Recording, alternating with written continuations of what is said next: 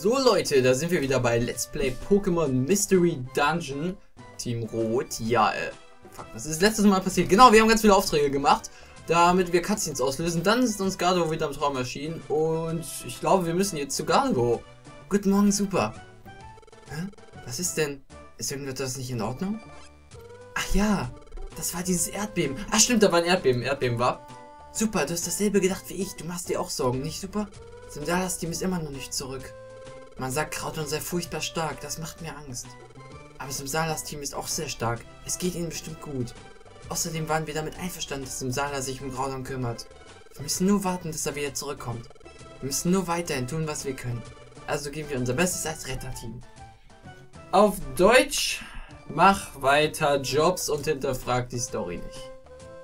Äh, naja, ähm, hallo? Oh, ach, ich wollte mich gerade mit WASD bewegen. Äh, äh, hm, was ist da, hm oder hallo? Ah, hi.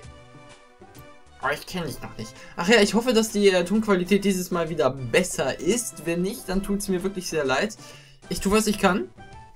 Ähm, ich bestelle mir die Tage ein neues Mikrofon und dann wollen wir mal schauen, wie das dann ist, ne? Oh Gott, neue Stimme. Ähm, also ich bin Icho und das ist wohin genau. Wohin genau? Wir haben eine Notiz am Infobrett vor der Pleberpost hinterlassen. Wohin genau? Bitte sieh doch mal nach, bitte, bitte, bitte. Wohin genau? Bitte hilf uns. Äh, bitte hilf uns, wir müssen jetzt gehen. Wohin genau? Okay. Was war das? Was hat das zu bedeuten? Das kleine Pokémon. Sagte der kleine Junge nicht, er hieße Isso? Ich glaube, er will, dass wir uns das Infobrett der Pilipperpost ansehen. Ja, hat er gesagt. Vielleicht haben Isso und sein Freund ein Problem und versuchen daher über das Infobrett Hilfe zu bekommen. Ja, du... Gott, der schaltet aber auch langsam heute. Da bleibt uns nur noch eins übrig. Gehen wir und sehen uns das Infobrett der Pilipperpost an. Was du jetzt zum dritten Mal erwähnt hast, Mike. Ich hab's schon beim ersten Mal verstanden. Auch nach dem vierten, wo ihn genau. Du hast einen Belebersa... Nein, nein, den will ich kaufen. Den möchte ich gerne kaufen.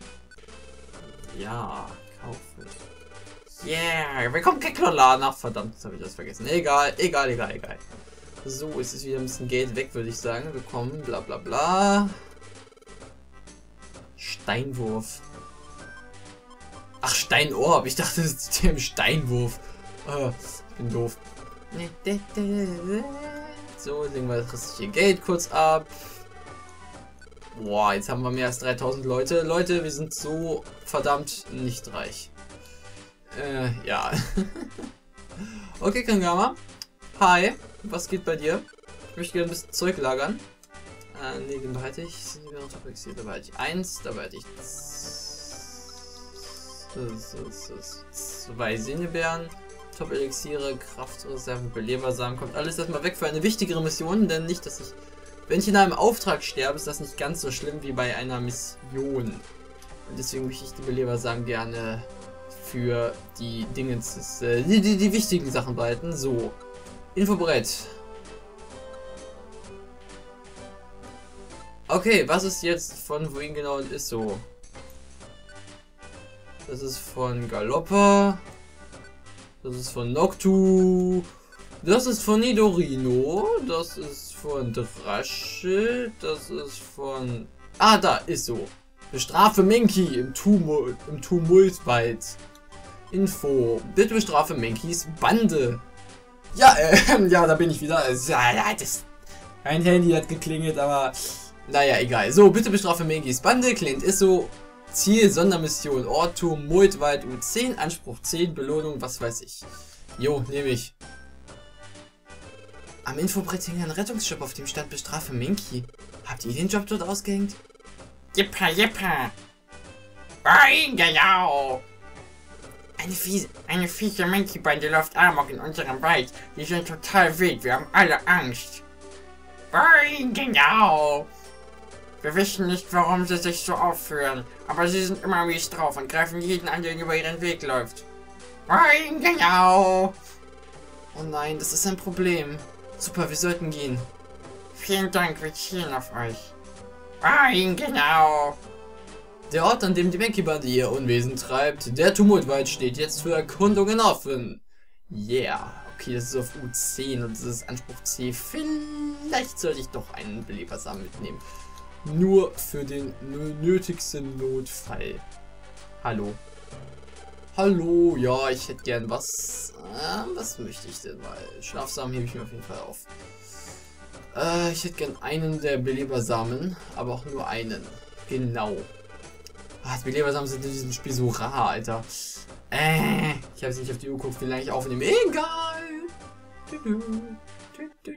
Gut, dann mal ab in den Tumultwald.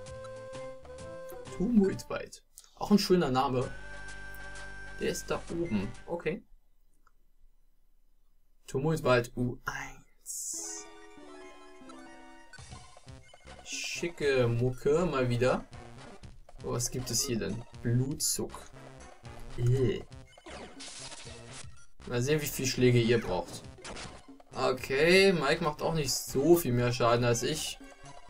Macht so 20 mehr Schaden. Aber hier ist schon die Treppe, Leute, das ist super. Sind wir schon im Tumultwald U2. Und hier gibt es scheinbar sehr viele Items. Ein Flora-Gummi. Das werde ich mir jetzt genehmigen, Leute, weil ich habe gerade sowas von Hunger auf Flora-Gummi. Und ich bekomme die Q-Fähigkeit Ausweicher. Äh, ich glaube, ich weiß schon, was das ist, aber man kann es ja trotzdem mal angucken, ne? Die Fähigkeit des Pokémon an äh, die Fähigkeit des Pokémon Angriffen und Attacken auszuweichen verbessert sich. Die macht man natürlich an, ne? Das ist eine geile Fähigkeit, vor allem bei Bossen. Wenn die dann mit ihren starken Attacken nicht treffen, dann hat man eine Runde mehr Zeit. Das ist auf jeden Fall gut Wachstum. Ey, hör mal auf dich hier so zu boosten. Oh, oh, 124. Okay, ich mal zurück. Und nee, da oben ist noch ein Item. Noch ein Flora-Gummi. Nee, nee, diesmal ist ein Grün-Gummi.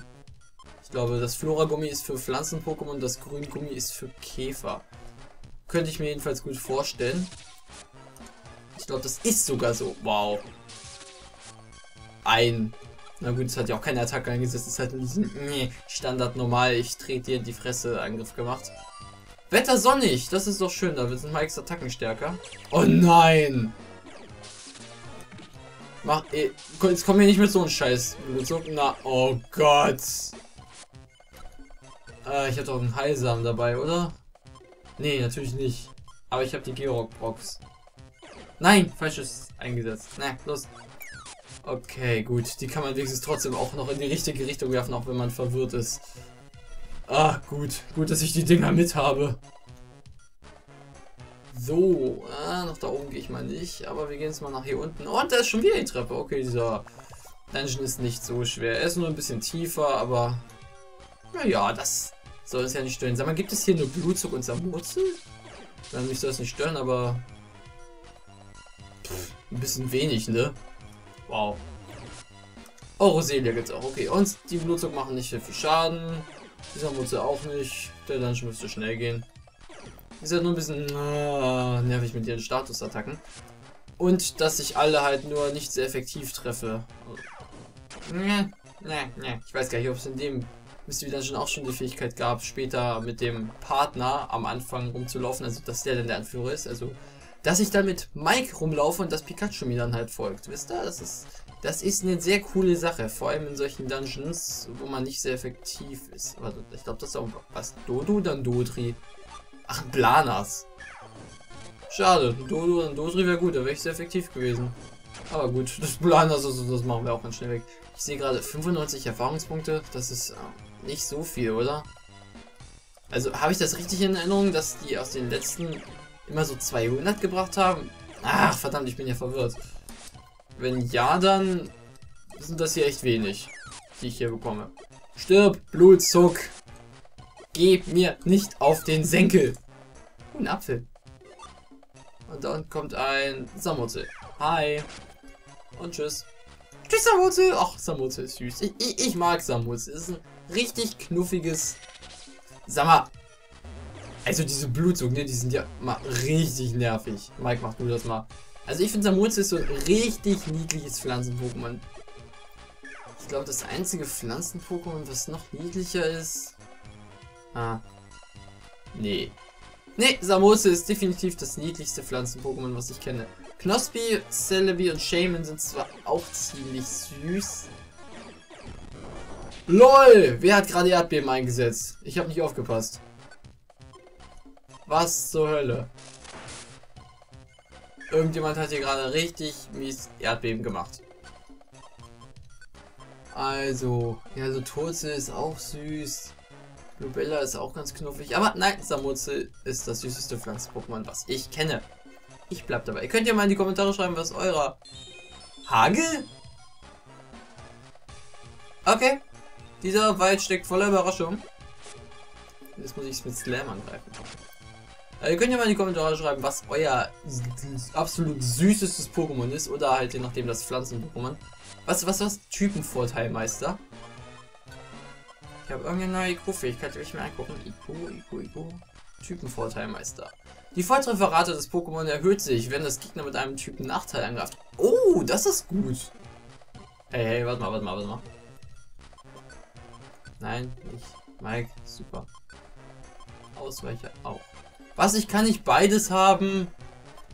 Ach komm. Das ist doch blöd. Selbstheiler. Als ich schnell von Statusprobleme, das will ich auch haben.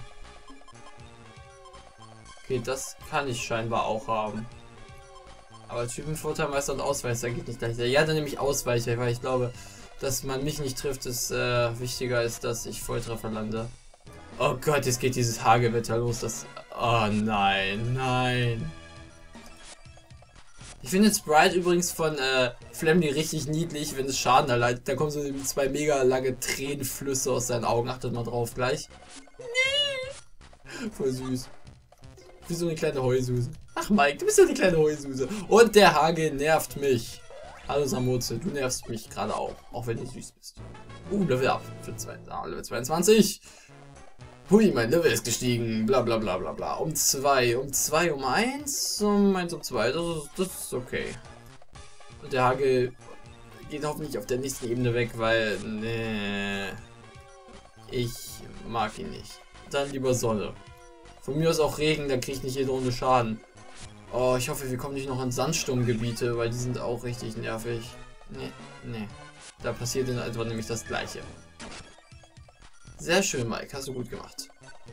So Hage weg. Tumultwald U7. Oh ja, gut, Hage ist. Äh, und noch ein Grüngummi. Okay, also falls wir was Grüngummis brauchen, wissen wir, wo wir hingehen müssen. Ne? Und wo ist das? Richtig, der Tumultwald. Habt ihr aufgepasst? Sehr schön. Ach Mike, du bist so aggressiv. Du greifst einfach jedes arme kleine Pokémon an. Nein, da ist Geld. Geld nehme ich mit. Tumultwald U8. Und, na, na, noch ein Gummi. Ho, Also wären wir ein Pflanzen-Pokémon, dann wären wir jetzt schon richtig äh, sehr, sehr gut. Samote, möchtest du uns vielleicht äh, unserem Team beitreten? Das wäre schon irgendwie cool. Jetzt trinke ich ein Top-Elixier, weil ich weiß nicht, ob ich gleich in diesem Kampf mit dieser Minky-Bande noch Zeit habe, zu trinken. Obwohl ich werde wahrscheinlich Schockel einsetzen. Okay, ich habe was Dummes gemacht, scheiß drauf. Egal, YOLO. Und 3 geht's. Tumultwart U10. So, wo ist jetzt diese gewordene Menki? Da ist sie schon. Oh, Menki. Menki und Rasa waren früher meine absoluten Lieblings-Pokémon. Die sind so cool. Was ist? Wir schlagen uns eigentlich nicht gern, aber Menki, wir regen uns ziemlich schnell auf, kapiert? Weil sie so aggro sind, die sind einfach cool. Und was uns richtig im Rage bringt, Rage Mode, ist, wenn hier irgendwelche Dummbeutel auftauchen. Dieser blöde Gesichtsausdruck. Das macht mich echt fertig. Ich sehe rot. Menki. Schlägerei. Schlägerei. Alter, wie die abgeht. Ach ja, Menki ist toll. Wow. Okay. Ihr seid nicht so stark, wie ihr aussieht. hust, hust. Ja, was für ein epischer Bosskampf. Wie versprochen haben wir der Maggie-Bande gezeigt, dass man nicht einfach andere aufmischen kann. Das wird ihnen gezeigt haben, dass man es nicht zu wild treiben darf. Äh, vielen Dank euch allen, wirklich. Rein genau! Ja, wir sind voller Dankbarkeit. Hier ist unser Dankeschön. Das Team von Super erhält eine geschälte Kastanie zur Belohnung. Yay! Was? Das ist eine geschälte Kastanie. Genau, eine geschälte Kastanie. Wisst ihr, wir... Wir haben kein Geld. Nein, genau. Deshalb können wir euch zur Belohnung eine Kastanie geben. Seid ihr jetzt enttäuscht? Äh, nein, nein. Wir sind nicht enttäuscht. Ich meine, geschälte Kastanien sind lecker. Ich liebe sie. Etwas Geld wäre zwar auch nett gewesen, aber was soll's. Ja. Hey, Ida! Ach. Oh nein, die Menki-Bande. Wohin genau? Diese Menki-Bande. Haben sie uns bis hier verfolgt? Ja, ich meine ich. Ihr hattet nur Glück, mit uns legt man sich nicht an. Dieses Mal machen wir kleiner als euch, wir werden euch pulverisieren. Menki, Schlägerei, Schlägerei, auf sie mit Gebrüll. Äh. Hey, Augenblick mal, Se seht euch das an. K K Kastanie. Das ist eine geschälte Kastanie. B bitte?